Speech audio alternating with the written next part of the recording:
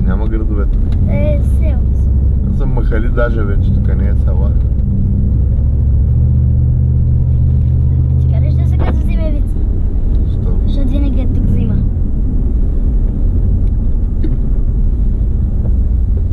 Не знам, винаги лятото предполагам, че не е, ама в момента си е. Голяма зима.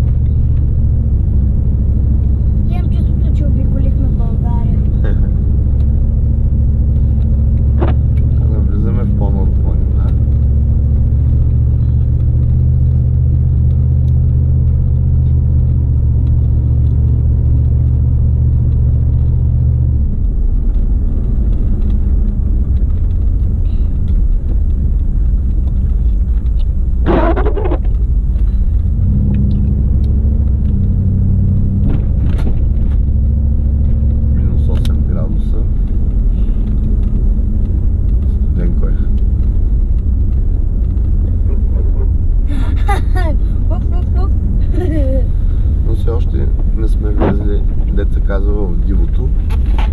Като почнат тата да са само нашите следи, значи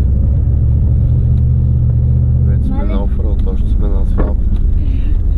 Още ли сме? Да, макар че има сняг. Маля, да сигурно дърветата са толкова замръзнали, че се чупат като лед.